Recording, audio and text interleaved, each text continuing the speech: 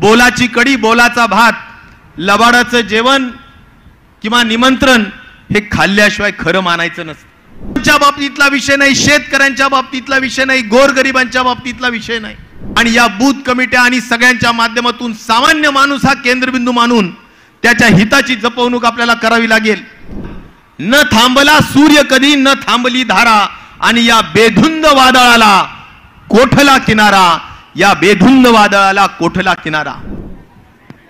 देशाचे नेते आणि आपल्या सर्वांचे नेते आणि मार्गदर्शक आदरणीय शरद पवार साहेब मंचावर उपस्थित आपले धडाडीचे काम करणारे अध्यक्ष आपल्या सर्वांना बरोबर घेऊन चालणारे अध्यक्ष जयंत पाटील साहेब आमचे सर्व सहकारी आदरणीय अनिल देशमुख जितेंद्र आवाडजी जयसिंग काका रोहित दादा फौजिया खानजी आणि खरं तर मंचावर अनेक मान्यवर उपस्थित आहेत पण मी वेळेअभावी मुद्दाम साहेबांच्या सूचनेवरूनच सन्मान्य मंच समोर उपस्थित हजारोच्या संख्येने उपस्थित माझे बीड जिल्ह्याचे सर्व तरुण बांधव आपल्या सगळ्यांना सलाम नमस्कार. मित्रांनो आज जी काही स्वाभिमानी सभा या ठिकाणी घेतलेली आहे यामध्ये आपल्या सर्वांचे नेते आदरणीय पवार साहेब मार्गदर्शन करणार आहेत. काय असं झालेलं आहे? कशामुळे स्वाभिमानी सभा? कशामुळे ही या ठिकाणी आदरणीय पवार साहेबांचं मार्गदर्शन? कारण या ठिकाणी मी एवढंच सांगायला आलेलो आहे की साहेबांचं उभं आयुष्य जर आपण बघितलं तर त्यांनी नेहमी विचाराचं राजकारण केलं. जी घटना डॉक्टर बाबासाहेब आंबेडकरांनी आपल्याला दिली ज्या घटनांचे मूल आधार आहे समता बंधुत्व न्याय आणि सहिष्णुता. या मूल आधाराला जर कुणी फाटा देण्याचं काम करत असेल ज्या तत्वासाठी साहेब आयुष्यभर जगले. ज्या तत्वासाठी साहेबांनी संघर्ष केला ज्या विचारधारा आणि ज्या विचारधारेला धरून त्यांनी कार्य केलं आज त्याच विचारधारेला आपल्याला धरून ठेवायचं.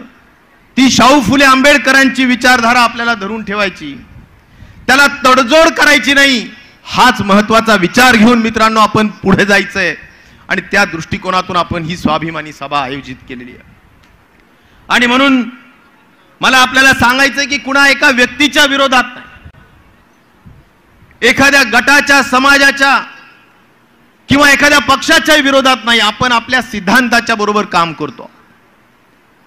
साहेबांचा विचार हा सामाजिक समतेचा सामाजिक ऐक्याचा जनतेच्या कल्याणाचा या विचाराला धरून आपल्याला काम करायचं आणि म्हणून साहेब आणि साहेबांचा विचार आपल्याला महत्त्वाचा आहे. आणि म्हणून साहेबांबरोबर राहणं ही काळाची गरज मित्रांनो आता अनेक वक्त्यांनी सांगितलं की साहेबांनी या समाजाच्या सर्व समाज घटकांसाठी काम केलं.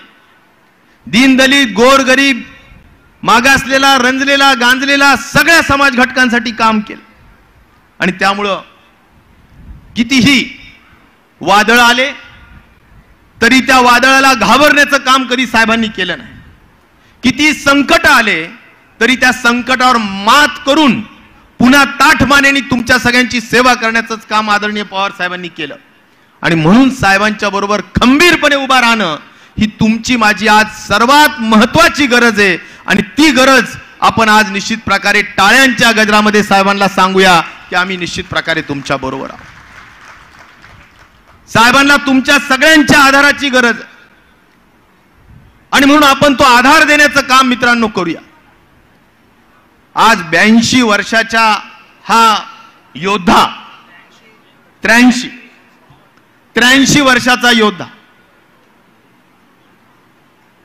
एक विचाराची बांधिलकी घेऊन एक जबरदस्त काम करण्याची सचोटी आणि हतोटी आणि जिद्द घेऊन या ठिकाणी आपल्याला काही मागायला आलेले आहेत. आणि ते मागायला आलेले आहेत आपल्या जनता जनार्दनाचा आशीर्वाद. आपल्या जनता जनार्दनाचं सहकार्य आणि मोठा असलेला आमच्या सगळ्या तरुणांचा पाठिंबा. आणि आज मी दोन दिवसापासून साहेबांबरोबर फिरतोय. असं एक गाव नाही की ज्या ठिकाणी तरुणांचे शेकड्यांनी जथ्थेच्या जथ्थे येत नाहीयेत. सगळे तरुण एकच सांगतायत की साहेब तुम संघर्ष करो हम तुम्हारे साथ है. आणि त्यामुळं मला आपल्या सगळ्या तरुण बांधवांना सुद्धा या ठिकाणी हेच सांगायचं. मित्रांनो आम्ही ज्या सरकारमध्ये आता या ठिकाणी आमदार म्हणून या सरकारच्या बरोबर आता जो काही आम्ही काम करतो विधिमंडळ सदस्य म्हणून विरोधी पक्षाच्या बाकावर बसून आम्ही जे का पाहतो आहोत मित्रांनो एक म्हणे बोलाची कडी बोलाचा भात लबाडाचं जेवण किंवा निमंत्रण हे खाल्ल्याशिवाय खरं मानायचं नसतं. त्याचं कारण एकच आहे की जे जे आश्वासनं आपल्याला या सरकारकडून मिळाले ते काही खरे होत नाहीये. मला एक सांगा शंभर टक्के लोकांना आज जे मागच्या वेळेस एवढी मोठी अतिवृष्टी झाली सततचा पाऊस झाला अनुदान मिळालं का? विमा मिळाला का? या सरकारने सांगितलं की आम्ही साडेसहाशे रुपयाला आपल्याला वाळू देऊ. ही वाळू आपल्याला सगळीकडे लागते. सरकारी कामासाठी घरकुलांसाठी माझ्या गोरगरिबांच्या ती साडेसहाशेला मिळते का? त्याचं कारण ती आजही अवैध पद्धतीनं उत्खनन केली जाते आणि आठ हजार दहा हजार बारा हजाराला मिळणे आणि म्हणून मला हे सांगायचा मुद्दा एवढाच आहे की या पद्धतीनं हे सगळं सरकार चाललेलं आहे. आज नोकऱ्या केंद्र सरकारने सांगितलं की आम्ही दोन कोटी नोकऱ्या देऊ. राज्य शासनाने सांगितलं आम्ही सगळ्या जागा लाखोच्या भरून काढू. मित्रांनो तरुण वर्ग आज अत्यंत आशेनी या सगळ्या जागा कधी भरून काढल्या जाईल? मी कधी नोकरीला लागेल या बाबतीतली आशानी वाट बघतोय.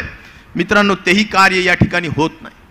म्हणून तरुणांच्या बाबतीतला विषय नाही शेतकऱ्यांच्या बाबतीतला विषय नाही गोरगरिबांच्या बाबतीतला विषय नाही. आणि म्हणून मला आपल्याला हे सांगायचंय की आता दुर्दैवानी पाऊस सुद्धा या ठिकाणी नाहीये. पावसाची वाट पाहतोय आपण आपला अख्खा मराठवाडा. जायकवाडीत पाणी राहिलेलं नाही धरणात पाणी राहिलेलं नाही पाण्याचं आवतन सुटलं पाहिजे अशी अपेक्षा आहे. पण दुर्दैवानी हे होत नाहीये आणि त्यामुळे आपल्या सगळ्यांना आता सामूहिकपणे एकत्र राहावं लागेल.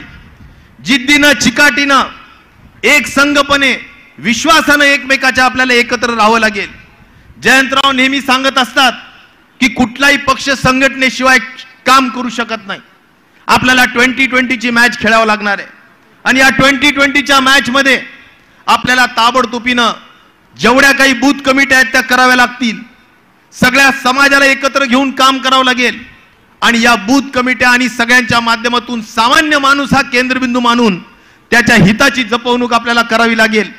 आणि या पद्धतीनं आपल्याला सर्वांना घेऊन काम करून जे आदरणीय पवार साहेबांची विचारधारा आहे जे खऱ्या अर्थाने गावकुसाबाहेर राहणारा छोटा माणूस आहे त्याच्या हिताची जपवणूक तुम्ही आम्ही सगळेजण करूया. या पद्धतीचा मी विचार या निमित्ताने मांडतो. आणि एवढंच सांगेल की असं म्हणतात की साहेबांच्या दृष्टीनं मी सांगेल साहेबांसाठी मी सांगेल की न थांबला सूर्य कधी न थांबली धारा. न थांबला सूर्य कधी न थांबली धारा. आणि या बेधुंद वादळाला कोठला किनारा? या बेधुंद वादळाला कोठला किनारा? या विचाराने आदरणीय पवार साहेब आपल्या सगळ्यांच्या भरोश्यावर निघालेले आहेत. त्यांना आशीर्वाद द्या. आपल्या सगळ्यांना आशीर्वाद द्या. आज मी मनापासून अभिनंदन करेल आमच्या तरुण सहकारी संदीप क्षीरसागरचं की ज्यांनी उत्कृष्ट नियोजन करून आपल्या सगळ्यांना या ठिकाणी एकत्रित केलं. त्याचं मनापासून अभिनंदन. आमच्या एवढ्या तरुण सहकाऱ्यांनी या ठिकाणी एवढं चांगली मेहनत घेऊन ह्या सगळा स्वाभिमानी मेळावा या ठिकाणी घडवून आणला. मला निश्चित प्रकारे खात्री आहे की महाराष्ट्रभरामधला जनसमुदाय हा याच पद्धतीनं साहेबांच्या पाठीमागं भक्कमपणे उभा राहील महाविकास आघाडीच्या पाठीमागं भक्कमपणे उभा राहील असा आशिवा आशावाद व्यक्त करतो आणि माझे चार शब्द पुरे करतो. धन्यवाद. जय हिंद. जय महाराष्ट्र. जय राष्ट्र